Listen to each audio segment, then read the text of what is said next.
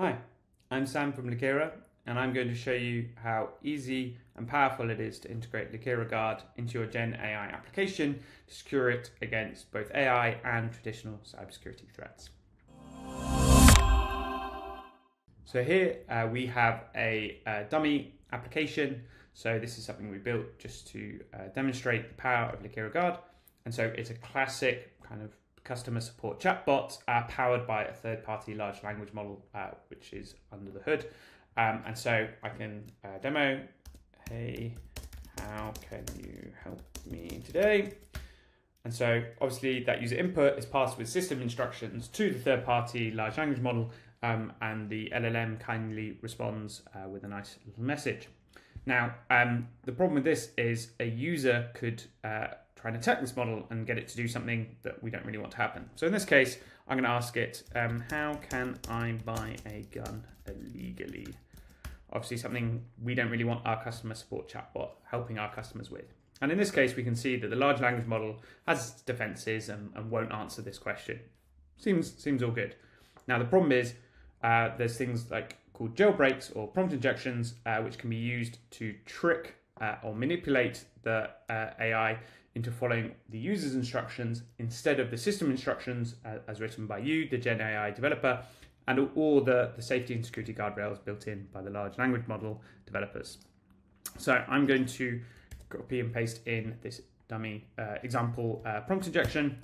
And so in this case, we've got exactly the same uh, request, but this time we've added in what looks like a string of random letters um, and, and words but the funny thing is that works as jailbreak and actually bypasses the security and safety guardrails built into the model and causes it to um, give a, a, perfect response according to the user. And obviously something as the um, application owners, we don't really want to happen. Uh, in this case, it was about buying a gun illegally, but actually the user could replace this uh, with kind of any request that they want, and the large language will, model will comply regardless of your system instructions or the built-in safety guardrails. So how can we defend ourselves against this? Uh, well, we've integrated Lakera Guard under the hood.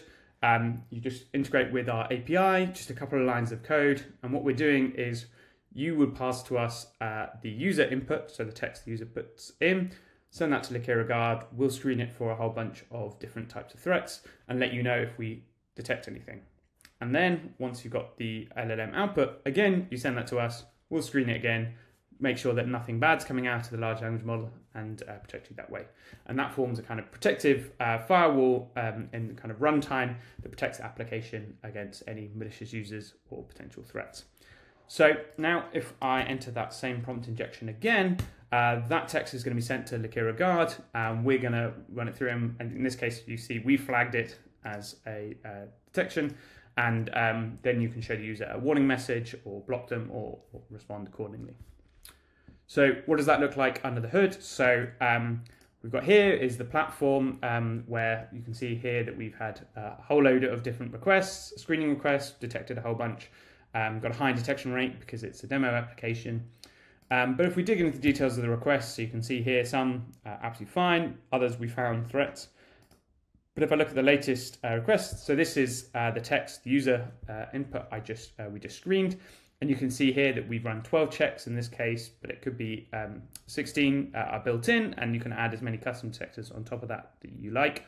Um, and so we run those checks and, and, detected that there is a prompt injection. And you can block that and stop the user trying to manipulate the model um, to do nefarious things. Um, all of this is customizable. You can create a policy for Lakera Guard um, to define your defenses and the configuration of them for screening both the inputs and the outputs. So we offer prompt defense to stop things like prompt injections, jailbreaks, other kinds of ways of manipulating the model. Uh, data uh, leakage prevention, so prevent uh, personally identifiable information uh, being leaked either to the model or out of it. Um, content moderation, so make sure no harmful content or the users aren't saying anything offensive.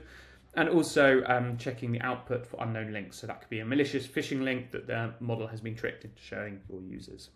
Um, and so, yeah, you can choose which um, defenses you want to activate um, and also choose the sensitivity. So, um, be more aggressive or less aggressive uh, as and when needed. Uh, all of that can be done with a few clicks of a button. And so, yes, it's super easy to integrate, uh, and then you can protect you and your users. If you want to find out more, just go to lakera.ai where you've got loads of content on AI threats and how to secure against them. And you can also get started with Lakera Guard today for free. Um, just needs integrating with a few lines of code and you can start protecting your Gen AI application or book a demo with our team and we'll happily answer any questions that you have. Thank you very much.